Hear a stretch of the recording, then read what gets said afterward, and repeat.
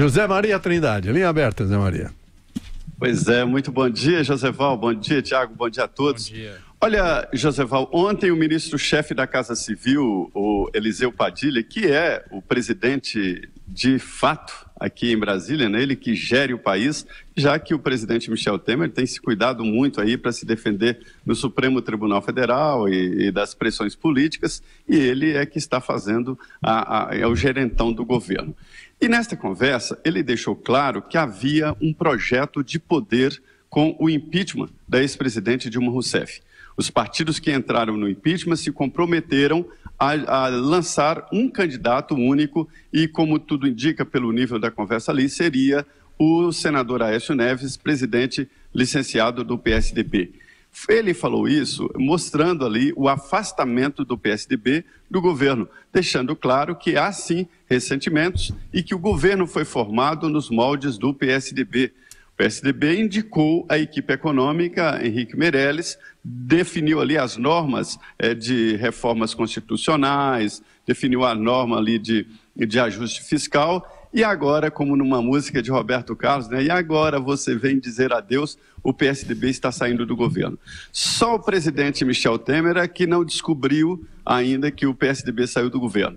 Mas, na verdade, o que está sendo organizado ali na, na cúpula do partido é de que o PSDB oficialmente sai sim do governo deixa ministérios importantes, mas continua incrustado ali na máquina administrativa, nos cargos nos estados, que dão muito voto, mas também aqui na esplanada, na chamada cota pessoal do presidente Michel Temer. O que sobra muito aqui é ressentimento. Líderes dos partidos governistas dizem que não querem conviver com o PSDB porque ele traiu a causa mas também que causa, né? Como o presidente Michel Temer lança, é, sustenta um candidato à presidência da República, né? Fica muito difícil. Era naquele início de governo lá o sonho de que ele poderia bombar no governo e isso não aconteceu. Aécio Neves já não pode mais ser candidato do PSDB, então a coisa se complicou e a vida política é assim mesmo, muda.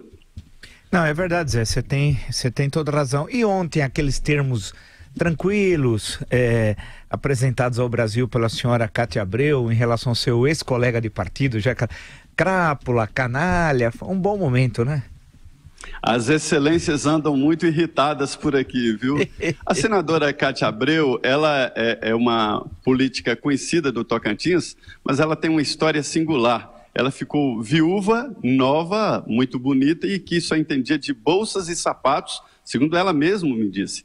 E aí é, não entendia nada de fazenda e todo mundo vende a fazenda, vende as fazendas e ela insistiu. Virou líder ruralista, virou deputada, depois senadora e está aí na briga, boa de briga. Foi para a CNA, a presidência da CNA, entrou em, em, em atrito com o pessoal da CNA quando ela defendeu a ex-presidente Dilma e ela é assim. E o Romero Jucá, como é muito de bastidores, enfrentou agora uma senadora irritada que o chamou de palavras nunca antes na história desse país ouvidas no SISU do plenário do Senado Federal.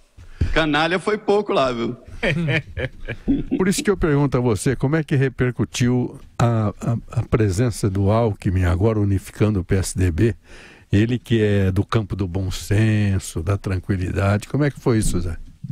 Muito bem, houve uma mudança de clima. Todo mundo aqui na vida política entende que essa história de polarização do Bolsonaro com o Lula, isso não é real e que a entrada do Alckmin, do jeito que entrou, porque é, é, a maneira como ele entrou como candidato do PSDB, todo mundo já o considera assim, e não só do PSDB, mas do PSB. E, e, vai conquistar parte do PMDB e do DEM, isso é tranquilo.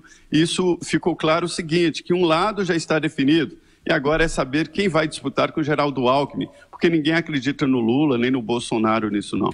Olha, Joseval, hoje aqui em Brasília é feriado. Feriado, dia do evangélico.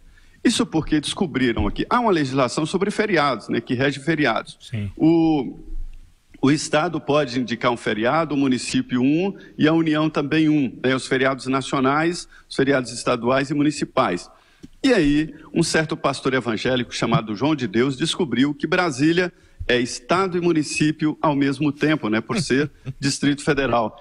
E aprovou uma lei na Assembleia, com, não tinha a, a, o feriado municipal. E aí ele se aproveitou disso e aprovou uma lei. Então, portanto, é feriado legal, dia do evangélico. Esse João de Deus, ele foi caçado né, por roubo e preso depois porque mandou matar o amante da mulher. É inacreditável. Em nome de Jesus, provavelmente, né? É inacreditável. E o, esse feriado evangélico é hoje aí em Brasília? Quando é? Definiu? Não, hoje está sem fone. Ah, está sem fone. É, é mas é, é perdi hoje. aqui né? o, o, o, perdi o, o retorno. É, o feriado é hoje, né? O, o que tá, é, é, é, Zé Maria. Tudo bem. É porque eu quero saber se É substitui o 25 de dezembro. né? É, é, não, mas é inacreditável, porque a Constituição diz que pode ter um feriado é, municipal, um estadual tal. Então, como o Distrito Federal, você tem Brasília, as outras antigas cidades satélites, né? É, então, não sabe se é cidade ou município, então já aproveita, já tem dois. Né? O 21 de abril, que é a fundação, né? Que é a fundação e o dia do. É, é- é- não, é, é um negócio inacreditável. E quem propôs, como o Zé Maria informou, o João de Deus, deve ser bem de Deus. Né? Porque a sua vida realmente é maravilhosa. É inacreditável. O país é um país. Não dá para levar a sério o Brasil. Não dá, não dá, não. Tentaram fazer o dia ecumênico, mas não conseguiram. Não Vai ficar o consegui. dia. Meu Deus. É. Zé Maria, um abraço. Bom trabalho para você. Pois não, muito obrigado, bom dia.